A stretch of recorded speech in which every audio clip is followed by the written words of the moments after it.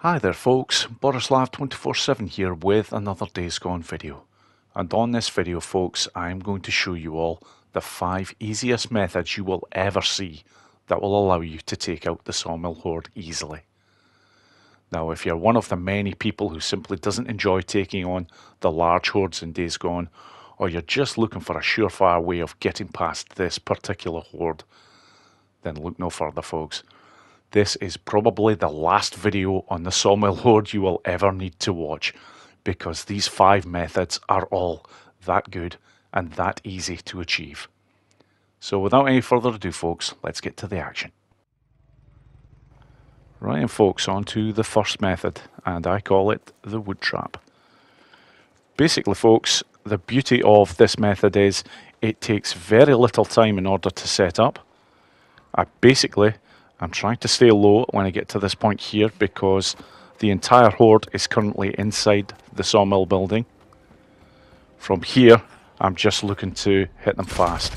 Quite literally, just get a few shots off there. The whole idea is to attract them, and from here, I'm heading up to this wood trap area and you really want to be on the top left hand side where I am positioned now. now. Once you are in this position folks, you are virtually untouchable. I have seen one or two occasions where a freaker has managed to get up, but it very rarely happens. From here, you can basically do whatever you like. You can either conserve all your resources and take them out with gunplay, or you can use some napalm molotovs like I'm using here in order to get the numbers down quickly. All I would suggest you do is when you're in this uh, position is if you do see any of the freakers getting up onto the higher levels, which I can see them at the moment doing, take them out with gunplay. Just don't give them the chance to actually get to your position. Now the next piece of information I'm going to give folks is pretty much common sense because I'm sure most people will not attempt to do this but I'm going to say it anyhow. Grenades and pipe bombs. Don't use them. this is not a particularly high position and even if you crouch down and start throwing them out you are so close to the blast radius that you will be uh, launched off uh, this position. So just don't do it folks. There is other areas where you can get away with grenades and pipe bombs but this is not one of them. Now, also worth knowing folks that I didn't actually come up with this particular method. This is one that has been known about for a very long time, at least two years. But it is still one of the easiest and one of the most effective ways to take out this horde.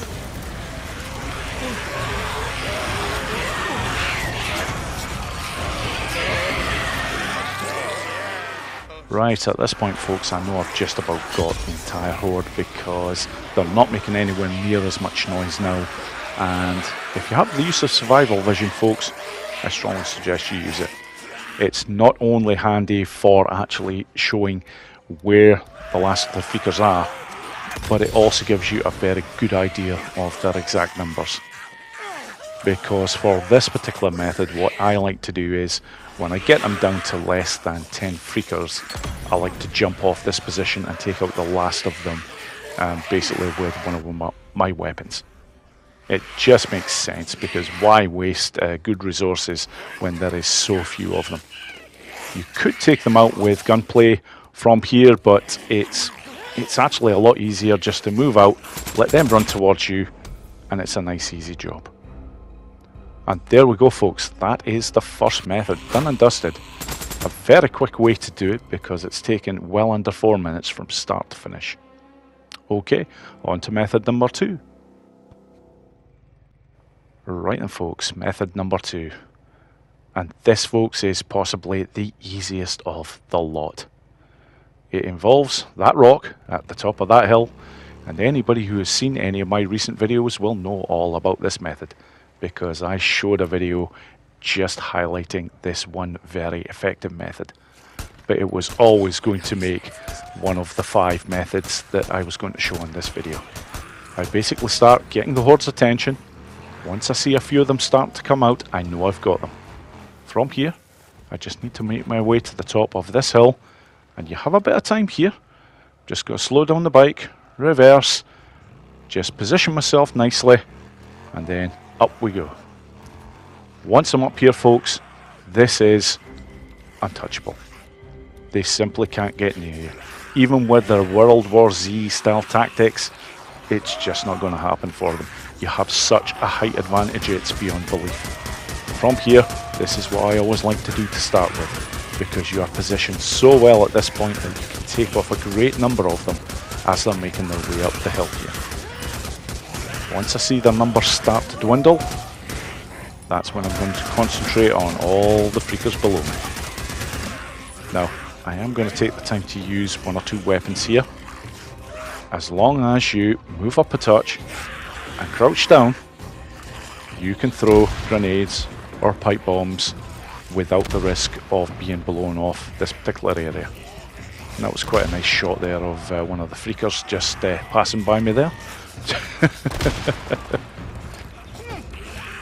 right, okay, at this point I'm actually going to stop with uh, the throwables and basically go to the next stage in getting this done.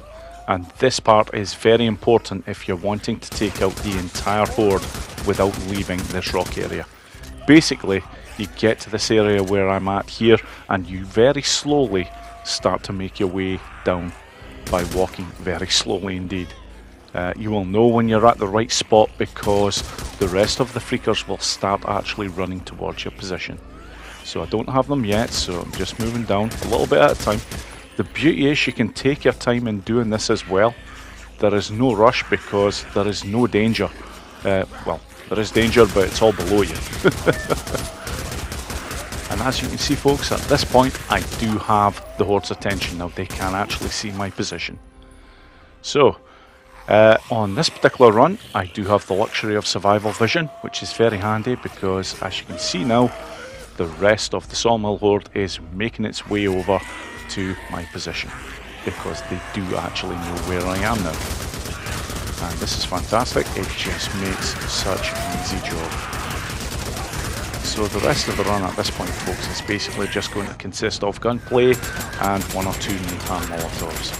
Because the rest of the horde is making its way over to my position now, and this really is as easy as it gets, folks. Uh, plus the fact that you are in a position where you are simply untouchable makes this uh, method probably the safest and the easiest that you will get of the five but it's just a case now of tidying up what is left of this horde and it won't take long from here folks.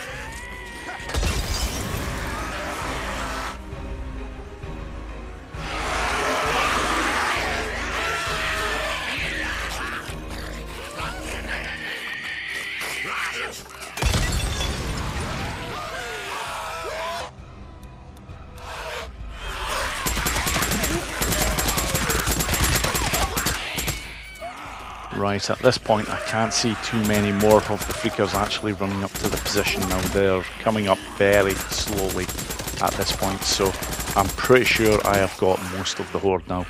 So I'm just going to activate survival vision again, and yeah, I can see down below there's basically four of them left. So if I take these ones out, this should get the job done.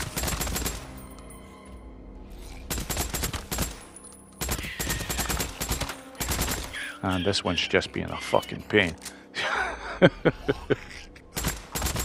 yeah, there's always one. And yep, indeed.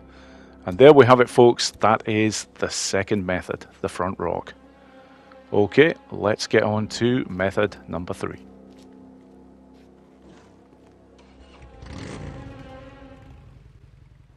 Right, folks, on to method number three, and this is the ledge. Now, this is another method that I did not discover or come up with. In fact, this one is, of the five methods that I'm showing, this one is by far the most well known because countless gamers on YouTube have shown this method and for a very good reason because it is super safe and it is also very easy to do. Um, I'm just choosing to set off the wood trap there for no reason whatsoever to be quite honest. But uh, I'm heading over basically to the other side of this building purely to get the Horde's attention. Uh, this is the only part that differs from how I would normally show um, taking on this horde. Normally I would actually go over to the entrance of the sawmill, um, start by um, setting off some gunplay and just getting the horde coming out in big numbers and then just slowly making my way round to the area that I need to get to. But uh, this way is a little bit more advantageous as basically you don't have the stress of having the horde actually follow you. I'm just basically setting them off. I can see that they're coming in large numbers. So from here, all I have to do is make my way over to the area. And it's basically around here, folks. Just very slowly walk until you get onto that section and then move over to this corner here. And this is where it all takes place. So the horde isn't here yet. They do take their time, but they do come over. So I'm just using a little bit of gunplay just to get their attention. Now, I do have survival vision, so I'm just going to use that as well. Just to see where they are, and here we go. At this point, folks, they now know exactly where I am, and they will start coming in larger numbers because the entire horde is just basically catching up with the front runners. And from here, I'm just going to take the time to take out this entire horde with gunplay and napalm molotovs only. You can use other items, but if you're going to use grenades and pipe bombs, I strongly suggest that you get Deacon into a crouched position and throw the grenades well out, or the pipe bombs for that matter. Make sure they're thrown out at least as far as the wooden areas that are below Deacon here. That way, you shouldn't have any risk of being blown from the ledge that uh, basically Deacon is currently on. So I'm just going to let this uh, play out folks and I'll resume commentary when the horde is just about done.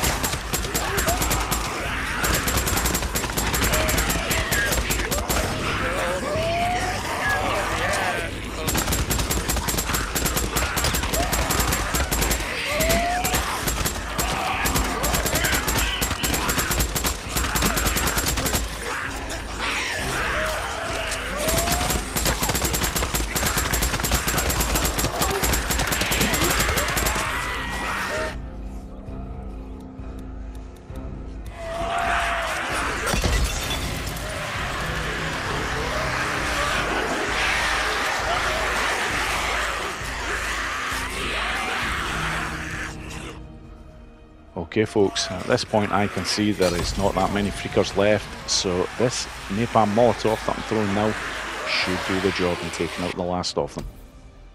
And fantastic. That is the sawmill horde done from the ledge.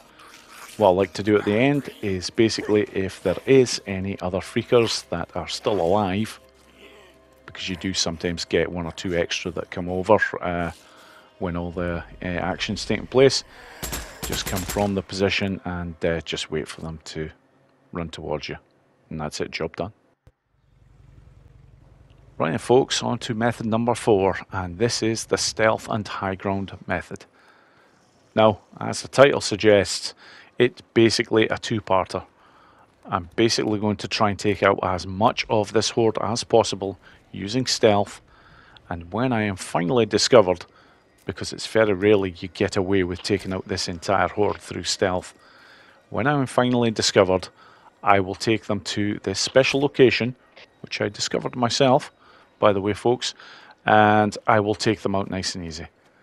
But before I even start to engage the horde, I'm basically looking to place three remote bombs. The first one is by far the most important because it's beside the barrel, so when I set that off, I'll hopefully take out quite a number of the freakers. The other two are just going to be distraction, uh, or more to the point, to try and lure the horde over to those areas if they start getting too close to my position. But I'm starting off with a couple of flashbangs because I basically want them onto the ground level before starting to rain hell on them. And then I'm just going to go to town with a few bits and bobs. Uh, attractors will feature heavily. Uh, I also use attractor bombs. And as well as that, I'm going to hit them hard with grenades and pipe bombs. And when they are close enough, I'm going to be using the napalm molotovs. So I'll basically now go to town on the Horde folks with various throwables and whatnot, and I'll rejoin the commentary basically once I get discovered. And that's when I'll move on to the second part of this method, folks.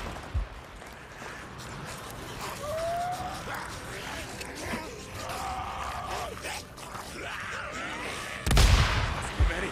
Too many.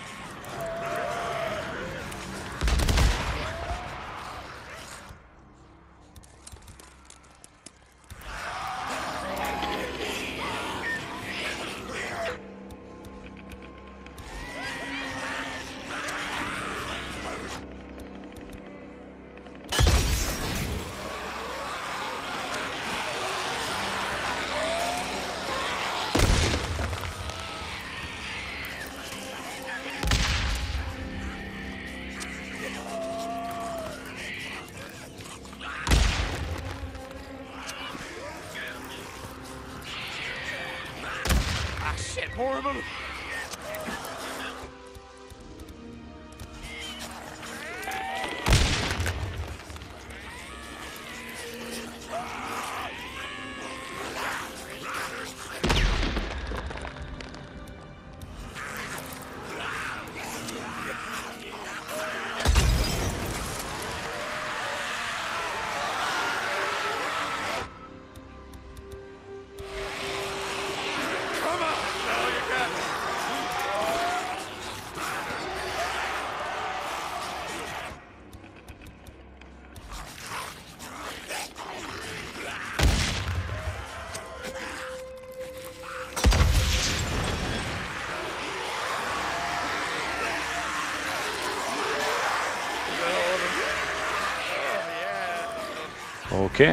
At this point, folks, I am as confused as everybody else who's watching this video because I have no fucking idea what gave me away there. I was well away from the horde, and uh, for some reason they just started coming at me. But never mind, I've got the good majority of this horde, so I'm heading over to the high ground area that I'm going to take out the last of them from.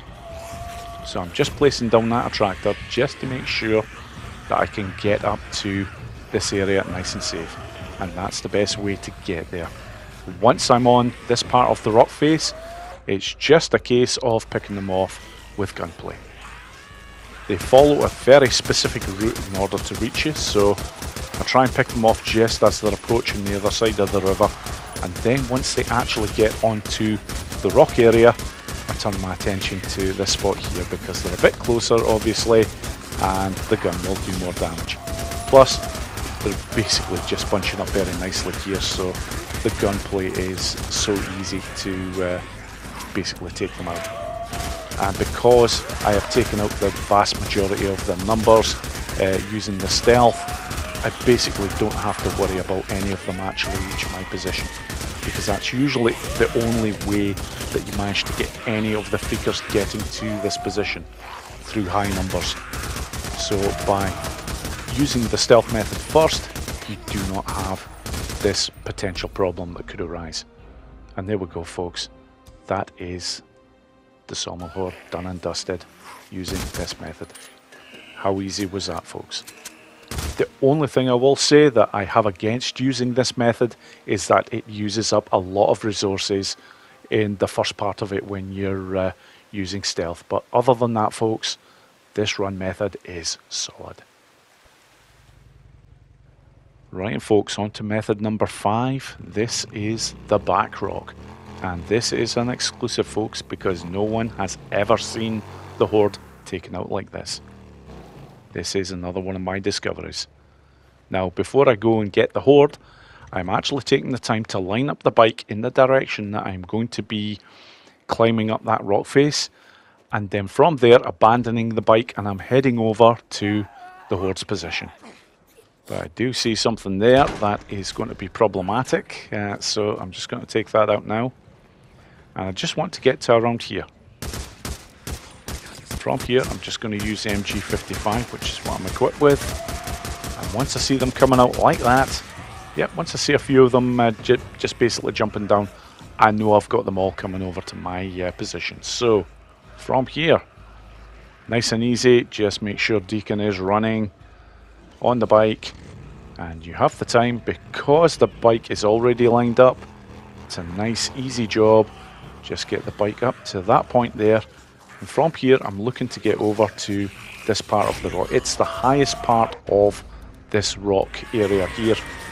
And from here now folks it is just so so easy. Now this spot definitely is not untouchable but you will get very few freakers that will actually get to your position here. Very few indeed. Um, this really is another very nice method. You could take the time to take out the entire horde here with gunplay if you want to because they are very close to your position so the gun's going to do maximum damage to them. Um, but I will take the time to use one or two napalm molotovs just to speed up the process. Now, there's not really much more I need to say about this particular method, so I'm just going to let it play out and I'll just rejoin the commentary when the horde is just about taken care of.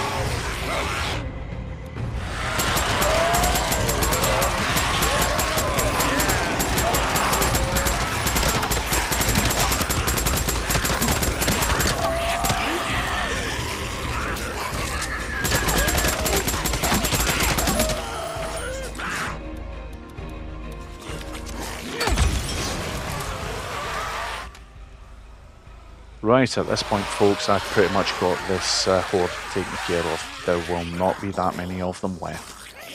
And yeah, as you can see from survival vision that I've just activated there, yeah, there's not many. And that's complete overkill. I didn't have to use a Molotov there, it's, but it's like, what the hell, it's the end of the video. and there we have it folks, that is the fifth and final method. So if you're one of the many people that struggles with the Sawmill Horde, any one of these methods will get the job done for you folks. And I hope this video helps a lot of people. Thank you so much for watching the video folks and I hope you all enjoyed it.